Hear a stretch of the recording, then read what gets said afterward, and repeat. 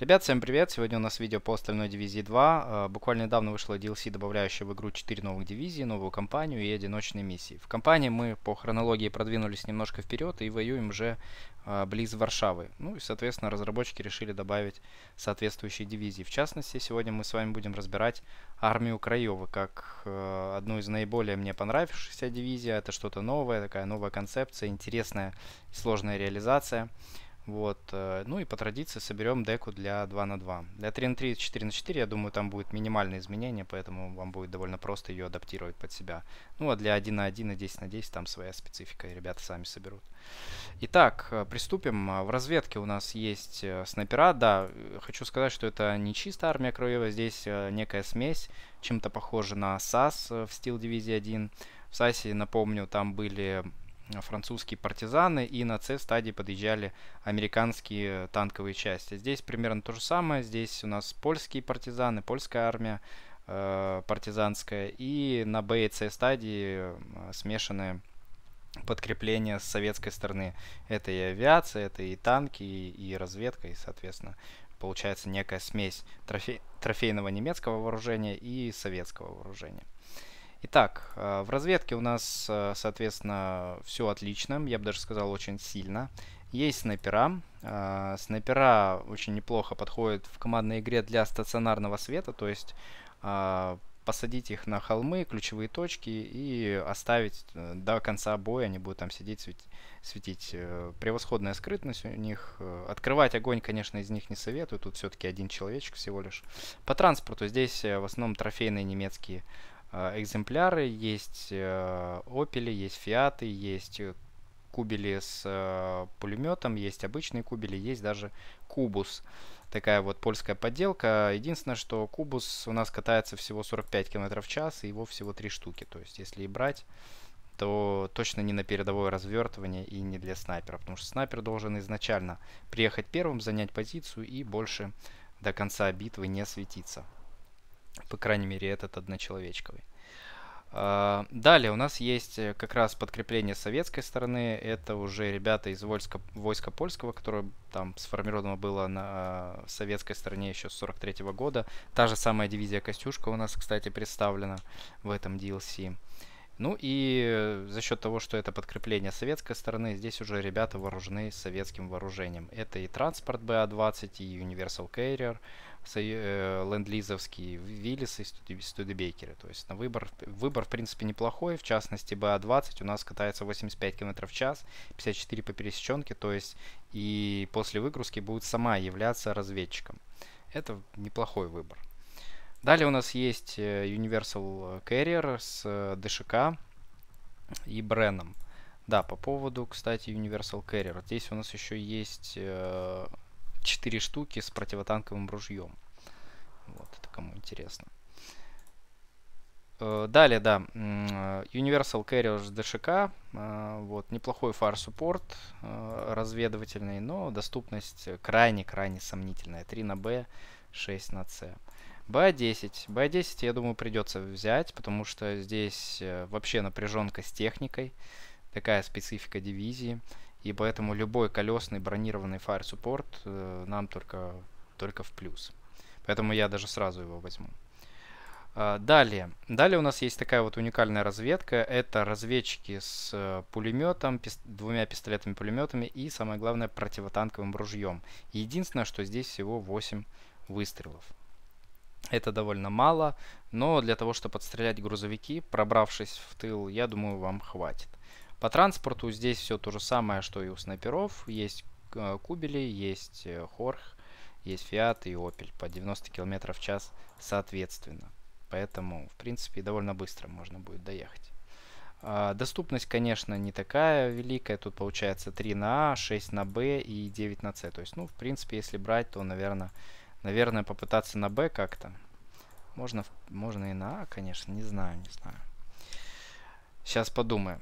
Далее. Далее у нас идет отли отличнейшая э, разведка для развертывания. Тут получается у нас 3 взрыв пакета, 6 э, карабинов и 1 МП-40. Неплохо зайдет э, в лесу, неплохо зайдет в качестве э, встречи противника в городах. То есть, ну, самое главное там будет замикрить, отключить карабины, чтобы подпустить на 100 метров, кинуть взрыв пакет, и там уже, я думаю, вы выиграете дуэль. Вот. 90 км в час, в принципе, позволяет приезжать одновременно с немцем. Вот, поэтому засейвить свои позиции в город, я думаю, прекрасно получится. Ну и поддержать свою пехоту в лесу. Поэтому я думаю, возьму две карточки э, этой прекрасной пехоты на А. Две карточки этой прекрасной пехоты на А. Либо одну карточку на Б. Итого у нас будет 9 отрядов. Угу. Итого у нас будет 9 отрядов.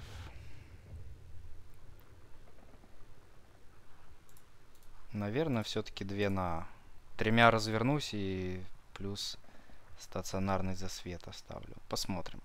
Пока что так оставлю, ребят. Э, кто смотрел предыдущие ролики, знает, я обычно ну, зачастую возвращаюсь обратно к вкладкам. То есть все будет зависеть от того, что мы дальше там будем набирать и от чего будем играть. Пока так оставим. Дальше, далее потом вернемся к этому. Uh, ну, переходим во вкладку пехота. Здесь это самая сильная вкладка в этой дивизии. То есть оно и видно, тут активационные очки у нас по единичке всего лишь, это во-первых. Во-вторых, уникальная пехота. Я бы даже сказал, одна из сильнейших красных пехот в игре, то есть если не самая сильная.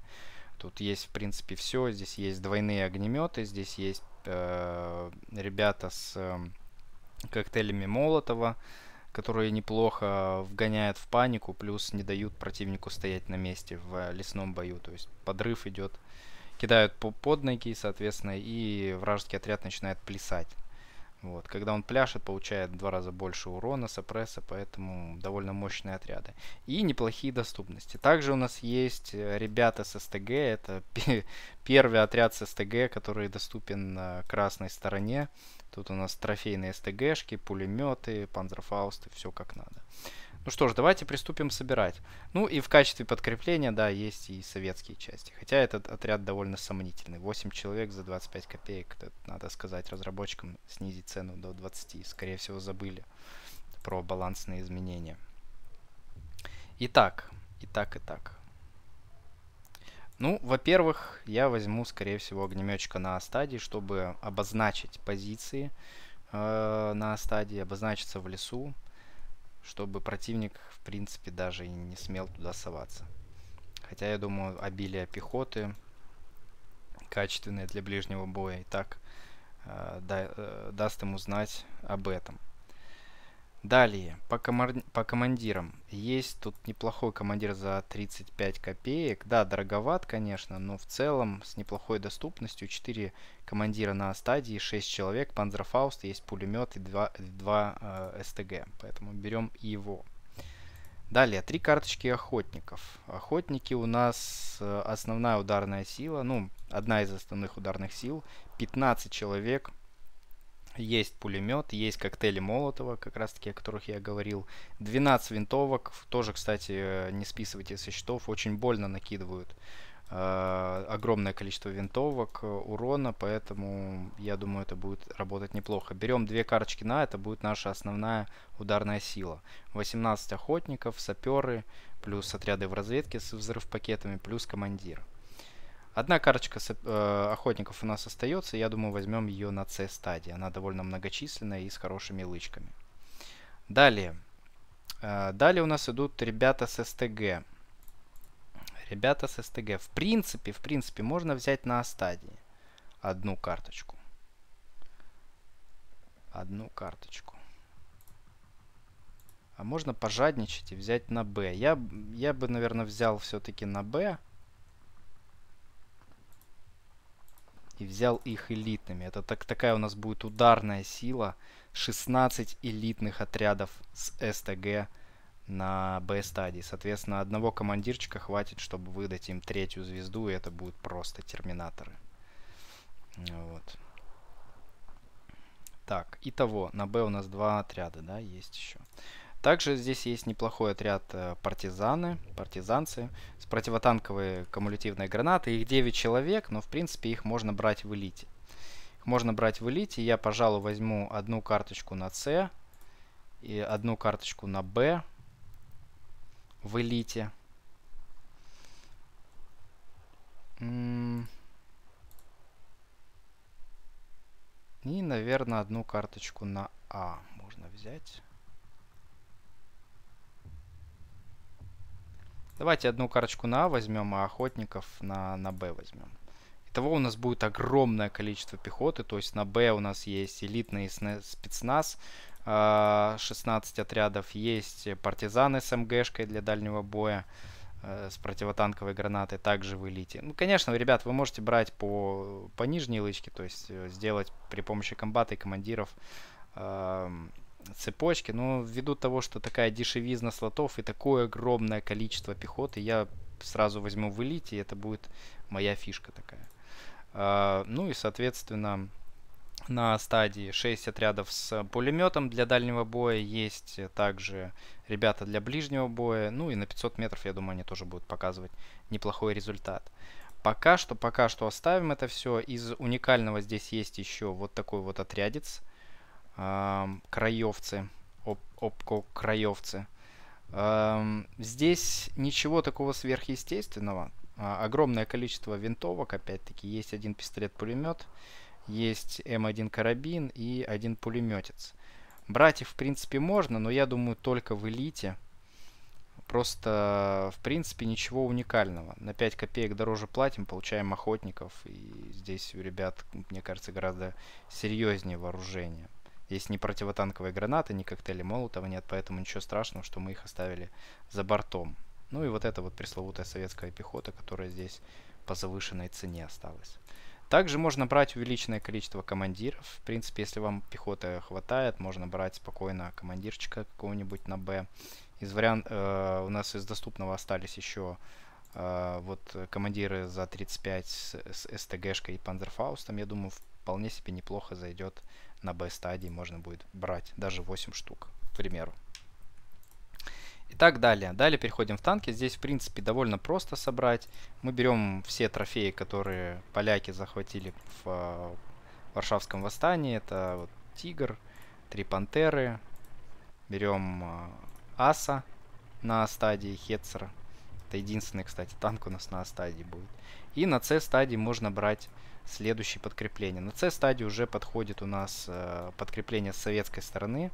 Видите, на А и Б недоступны. Соответственно, можно взять либо 10 э, ветеранов Т-70, ну я бы так взял, либо 6 э, Т-34 или 8 по нижней лычке. Ну, Т-3476 абсолютно никак не усилит вас на С-стадии, то есть это не танк С-стадии, это скорее танк А-стадии. Поэтому, не знаю, решайте сами, я, наверное, все-таки предпочту, предпочту, предпочту 10, тут 6, да. Пазик четвертый можно брать также на стадии, командирский на С. Э, Т-70 командирский можно взять на Б. И вот итальянскую подделку можно взять на Но я думаю, все-таки Хетцер посильнее. Ну, давайте возьмем 8 Т-34. Т-34-76. Далее. Далее переходим в поддержку. Поддержка тоже довольно неоднозначная. Казалось бы, есть и ЕГшки, и МГшки, но все это доступно только с Б-стадии минимум. То есть на А стадии развернуться через это не получится. Поэтому, я думаю, возьмем... Возьмем, возьмем, возьмем снабжение. Кстати, тоже со снабжением тут абсолютно беда. Здесь всего 4 грузовика, которые можно взять. Либо на Б, либо на А, либо на С. И все. Больше нет грузовиков. В артиллерии, кстати, тоже нельзя брать тягачи с э, саплаем, то есть со снабжением. То есть у нас 4 грузовика на всю игру. Это крайне мало, поэтому не знаю. Не знаю, не знаю. Но я думаю, на Б брать придется брать на Б, потому что Б это такая основная стадия. Здесь на Б появляется и артиллерия массовая, и танчики э, придется чинить. С это уже поздно а это слишком рано и маленькая доступность. Поэтому это стопроцентная карточка. Далее, стопроцентная карточка у нас, конечно же, комбат. Давайте посмотрим, что по транспорту интересного у него есть. В принципе, ничего такого. Давайте Хорх возьмем. Чтобы он как-то отличался. Далее, чтобы усилить пехоту, можно также взять и огнеметчиков. Огнеметчиков, но... Ага, понятно, засада. Огнеметчики только на Хорхе. Поэтому все-таки возьмем офицера на Кубеле. Огнеметчики на... Огнеметчиков на Хорхе можно взять. Огнеметчика, несмотря на то, что 2 хпшные, в файлах у них 4 хп, хитпоинта, поэтому они довольно неплохо могут окупиться. Ну, за свою цену, к, к тому же. К тому же за свою цену. Единственное, что у нас уже есть в пехоте огнеметы. Их, правда, не так много, но тем не менее. Тем не менее. МГшку я бы взял.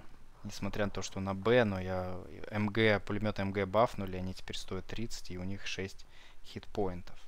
Это довольно мощная штука. Я даже с одной лычкой их возьму. Ну, пока так, пока так, ребята. Не будем за задерживаться. Есть Богвард, правда, одна штука всего лишь. И комбаты на Б и С. Есть пулемет Максим, который доступен на стадии, но они отвра отвратно работают, просто, ну, хуже некуда. Просто хуже некуда. Поэтому я брать их в принципе не советую. Они проигрывают дуэль МГшки, находясь, сам, э, находясь в здании. При этом МГшка в открытом поле. Без всякой защиты она перестреливает Максим, находящийся в здании в элите. Ну, то есть это неадекватно плохой пулемет. Тем более он не стоит 25 копеек. Это смешно. На Б стадии также есть, кстати, и ОБшки. ОБшки, ОБшки. О, ОБшки на ДШК. Дело в том, что у нас очень все плачевно с ПВО. Я, дум, я думаю, даже придется брать ОБшки. Ребят, я думаю, даже придется брать ОБшки ради этого транспорта. Сейчас вы поймете почему. Да, транспорт у нас, кстати, зенитный, то есть полторы, полторы тысячи метров, 10% точности. Это неплохо. Да, 100%. Я возьму ее пока что. Пока что беру ради ПВОшки. Далее, в антитанк переходим. Антитанк тоже довольно приличный. Здесь есть э, вот такие вот уникальные пушки 37 миллиметровые. У них э, хорошая скрытность, э, хорошая скорострельность. 20 скорострельность, потому что они доступны только в элите. И неплохая доступность. Берем, я думаю, на А и на Б. Этот агрегат. Обязательно. Такс, такс, такс, такс. Далее, безальтернативно здесь пак 40 на стадии. В принципе, только доступен. Также на стадии только, доступ, только на стадии доступен пак 30. Пак 38. По лычкам что у нас? 4, да? Нет, возьмем 6 по максимуму. И Зиска. Я думаю, Зиску по-любому будем брать, потому что с против... ну, вы видели, с танками у нас грандиозная проблема. То есть их очень, очень мало, поэтому берем и Зиску на Б-стадии из тяжелого противотанкового средства. И берем саботажников. Саботажники это новый отряд пехоты, вооружен как панзершеком, так и э, взрыв пакетами. То есть, в принципе, в лесу может за себя постоять. Я думаю, возьмем по нижней лычке. Хотя, давайте я думаю, я не вызову 12 отрядов, вызову 8, и то вряд ли. Поэтому возьмем пока что по ветеранистых, то есть, чтобы они меньше урона получали. Повысили точность. Кстати, на панзершеке точность будет 103%, то есть, ну, 100% тупо. Тупо 100%. Я думаю, это неплохая точность, согласитесь. Так. Саботажников мы взяли. Пока что оставим. Здесь еще из доступного есть пиаты. Здесь есть противотанковые ружья. И 45-очка есть. 45-ку также можно взять на Б или на С. Вот, оставим одну карточку пока что. Точнее, под вопросом. А, вот о чем я и говорил. ПВО стоит у нас первая карта 2 активационных поинта, вторая карта 3 активационных поинтов. И при этом выбор невелик, вы сами видите. Поэтому я возьму, Гочкисы. Гочкисы неплохо работают, ребят, под двумя звездами, если обеспечить при помощи командира и комбата им звездочки. 3-4 э, такие, ну 4 где-то 5 штук таких за секунду просто забивают истребитель. мне понравилось, как они работают. Единственное, что над ними надо... Э, ну, во-первых, их надо в одном месте держать. Хотя, я думаю, 2-3 тоже будет неплохо работать. Просто э, 4-5 сбивают мгновенно, а 2-3 отгоняют. Вот. Э, ну и минус в том, что артиллерия их довольно бодро накрывает и убивает, поэтому придется вам их как-то микрить, двигаться и не, не светить лишний раз. Поэтому берем одну карточку фиатов э, с Гочкисом и флаг 20 миллиметровка. Давайте посмотрим по транспорту. Вот, по транспорту здесь доступен фиат э, с браунингом. Берем его обязательно, потому что больше... Стоп, нет. Это у нас, по-моему, не зенитка. Или зенитка. В общем, будем считать, что это зенитка. Если не зенитка, наверное, не берем. Если не зенитка, наверное, не берем. Ну вот, и учитывая то, что у нас так мало ПВО, э, вот поэтому я взял у нас тут ДШК. ДШК. Будет дополнительная ПВОшка. Три ДШК спокойно отгоняют истребитель. Бомбардировщик, конечно, нам будет сложно отгонять, но истребители э, вполне себе поддаются э, сопрессу от ДШК. В артиллерии, как мы видим, абсолютно отсутствуют э, командиры, наводчики и так далее. Хотя артиллерия, смотрите, у нас наводится. В принципе, в принципе, комбат может наводить артиллерию. То есть немецкая вот эта гаубица, в теории мы можем ее наводить и пользоваться ей крайне эффективно. То есть, учитывая то, что у нас всего 4 грузовика снабжения, у нас очень мало боеприпасов, нам нужны точечные попадания, но для этого придется рисковать комбатом и двигать его очень близко, чтобы он корректировал огонь артиллерии. Но в целом это возможно. Также можно взять дополнительного комбата, но я в этом пока не уверен. Можно и без артиллерии попробовать поиграть. Ну и вот э, доступны у нас вот такие вот гаубицы 1897 года с отличной скорострельностью. В элите у нас тут и точность 50%, и скорострельность 16%. Я думаю, возьмем 3 элитные вместо 4 обычных. Трех за глаза хватит. Воз... Может быть, даже определим их в контрбатарею. 50% да, у них, конечно, фугас не очень. Третий слабень. А, 50%. Куда это я разогнался? 50%. Тут 37% в артиллерии. И скорострельность всего 11. Ну как всего? Это хорошая скорострельность. Третий фугас, да? Ой, ну все равно берем. Альтернативы-то особо нет. Есть миномет 80-миллиметровый. С четвертым фугасом, кстати. Но у него дальность 3 километра. Ну и 120-е советские минометы доступны только на C-стадии, когда приходит уже подкрепление со стороны Советского Союза. Это уже слишком поздно, и мы такие минометы не прокормим. Абсолютно. У нас 4 снабжения на Б, поэтому брать не будем. Ну, из доступного есть еще оффмэпочка. Две на карту, 152 миллиметровая. Пока что ее тоже брать не будем, хотя, я думаю, в теории брать можно. Сейчас перейдем в авиацию, наберем все, что есть, и посмотрим, какие очки у нас остались. Итак, авиация тоже довольно неоднозначна. На стадии, в принципе, нам недоступно практически ничего, кроме эскадрильи Тамань. Вот, тут ночные ведьмы у нас будут нас э, саппортить. Все остальное, основная масса авиации доступна только с Б и С стадии. А, вот. Ну, для начала возьмем то, что 100%, я думаю, берем, будем брать. Это противотанковые илы с, э, с нарами противотанковыми на Б и на С. Далее будем брать американский истребитель. Он с э, западной стороны, соответственно, союзники там тоже помогали, сбрасывали всякое вооружение и э, прикрывали с воздуха, соответственно, это, это тут отражено. Берем, наверное, 4 э, P51. И в качестве советского прикрытия с воздуха это Як-9Т, я думаю. У нас тут Як-9 есть и Як-9Т. Тэшка у нас получается по нижней лычке и девятка с ветеранистой, с очень хорошей маневренностью. У Тэшки более м, серьезное вооружение, но я думаю, все-таки возьмем обычный як. Он и поманевреннее, и точность у него будет под 70% с этой лычкой. Доступность будет такая же. То есть як 9 два новобранца или девятка, два ветерана. Впоследствии, может, поменяем.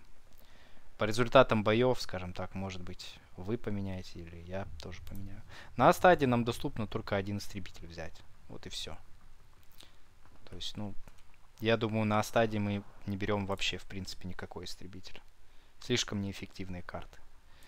Есть э, возможность взять... Есть возможность взять разведывательный Ил-2, только зачем он нам непонятно. Артиллерии на стадии у нас особо мощной нет, да и корректировка, ну, не знаю, тоже сомнительно. Есть, конечно, Uber самолет 4 по 50 за 30 копеек 6 на карту или 9 на Б. Ну, это уже смотрите сами. Итого, илы тоже с нарами доступны только на Б и С. И то здесь всего 4 нара. Итого, у нас еще осталось 4 очка. Я думаю, авиацию я больше набирать не буду. Потом, возможно, поменяю свое мнение, но пока я достойного прям тут выбора особо не вижу. 4 очка. 4 очка. Так, мы обещали вернуться в разведку. Мы обещали подумать над огнеметчиками. Я думаю, так и сделаем. Возьмем в разведке на Б-стадии вот этих вот ребят.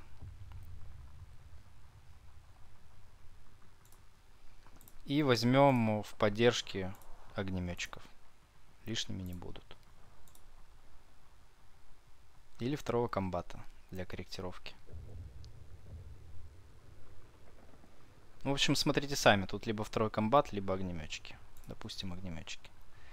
Вот такая вот дивизия у нас, ребят, получилась. Э, ссылка на код будет в описании под роликом. Надеюсь, ролик вам понравился. Увидимся в следующих э, роликах. Всем пока.